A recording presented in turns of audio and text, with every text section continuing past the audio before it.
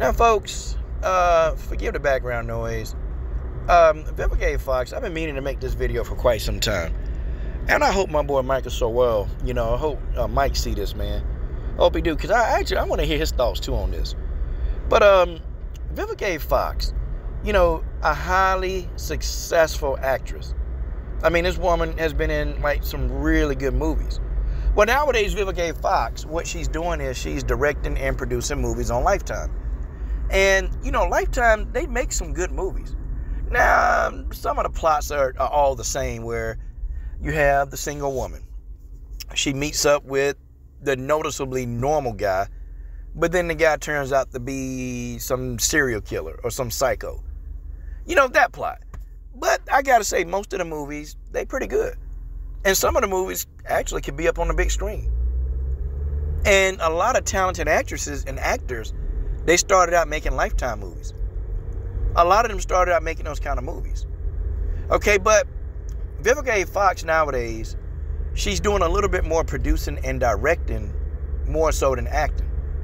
So when you look at these movies, and I, I, okay, these are a couple of titles that's produced and directed by Vivica A. Fox. I want you guys to tell me what do you see?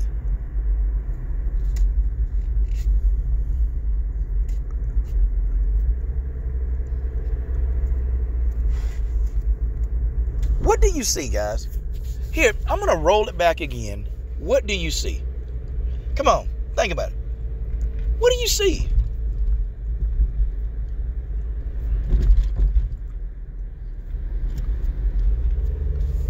I know what I see. I I, I let the cat out the bag. Here's what I see, okay? In these movies that Vivica A. Fox produced, okay? There, you've got a black woman who can be in a leading role, which they are in a leading role. Okay? I mean, you have that. But guys, I started noticing more the majority of these movies in Lifetime, and especially the ones produced by Vivica A. Fox if there's a black woman as a leading role, there's never a black man as a co-lead. Or there's never a black man as a love interest in the movie. Never. Okay? And the worst thing about the movies by Vivica A. Fox is when they actually mention, uh, not like the girl's dad. That dad, most of the time, okay, most of the time, was a deadbeat dad. He left him, just left. Left the mama when she got pregnant, that narrative or died, died in a shootout. Like, you know, and I started looking at this and I, and I said, really? This is what Vivica A. Fox is trying to push? Like, is, is this the narrative that she really pushing in these movies with black men? And I start I start looking at it, I'm like, nah, okay, maybe this just this just one movie. But when I start looking at the rest of her movies produced by Lifetime, same narrative. Same narrative. The black dads in these movies they're deadbeats. Now they can't just be dead, you know, just have died. And if they do, they die because of violence. But the non-black dads, mainly the white dads, if they're not in the picture, they're wrote up to be these highly successful businessmen and you know they just they couldn't get along with their, their spouse they're these highly successful businessmen they got all this money and if the dads are in, the, even in the picture these dads are doing well financially but the black dads of these black girls in these movies, they're never around. Okay? They're not doing highly successful. They're not. They're deadbeat, broke brothers that don't have a job. And I start really, I start, I start getting upset. Like, this is a narrative that this buckethead heifer, this is what she want to push about black men. Stereotype. And I, you know, and I start thinking now in these movies, and guys, I don't have an issue with interracial dating. I, guys, I don't have an issue with that. My issue is that when every single movie you do that's interracial dating, when you have to mention the black male in the movie, the black guy is some kind of deadbeat. That's when I have a problem. That's when I have the problem. Not every black dude is a deadbeat father. Not every black dude is out here in the streets. Not every black dude is out here, you know, pimping and all this other mess. Not every black dude is doing that. But this is the narrative that Vivica A. Fox pushes in these movies. She pushes. It. And You know, and I start thinking, man. So this this is what she really thinks. It's what she really thinks. Like you look at all these movies, all these movies. Why can't there be a black male leading, a leading black male role? Why? Now, some Lifetime movies, they do have them. They do have a black male that's actually doing well financially, but it's not Vivica. Fox films. It's not a film by Vivica. Like, she make the brothers out to be like just nothing. Pieces of POSs. I mean, you know, and I'm like, does she have a disdain for black men? And I'm really starting to think that she do. I'm starting to think that she do. Cause come on, man, every single movie you make and you can't have a black male leading role. Well, because you know, in, in anything showing a black man in positive light, that's not good, okay? And I guess that's not what the producers at Lifetime want to see. I guess it's not what they want to see, huh, Vivica? I mean, I guess you can keep perpetuating the narrative. And then, you know, the races over at Lifetime, of course, they can say, yeah, well, you know, Vivica's black and she was the one that directed the film. She was the one that directed it, you know. But you guys have to approve the film. Yeah. Yep. And every time she come up with a movie, you know, or when she's putting in one in production, I already know. I already know what it's going to be about. I already know. You don't even have to. You don't even have to stress the title. And then she got a bunch of other movies where she don't cast any black people. Period. She be the only black person in the movie.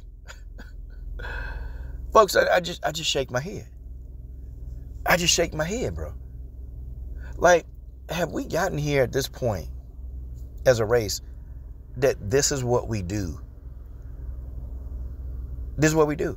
Guys, if y'all notice that the other races, they don't do this. They stay on code. Like they stay on complete code.